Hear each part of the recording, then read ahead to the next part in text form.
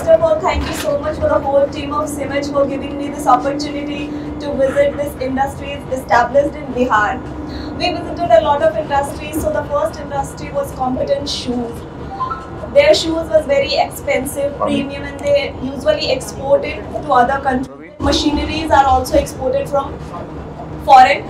They make different kinds of shoes and they are all handcrafted. That's why they are so expensive and they have a large margin over that.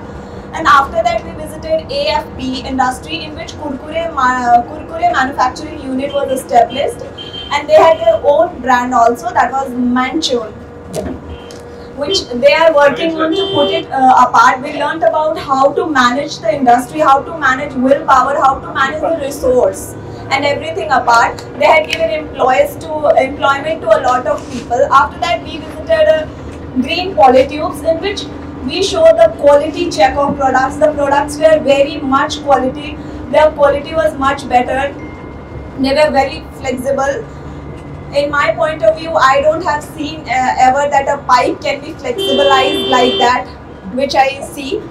After that, at last, I was uh, I visited Sobisco biscuit manufacturing unit. They told that they had an employee power of 18, uh, 1500 to 1800 of around people into three shifts. They have around 150 salesperson around all over the Bihar. So I learned a lot of things from this, how to manage the industry, how to establish the industry.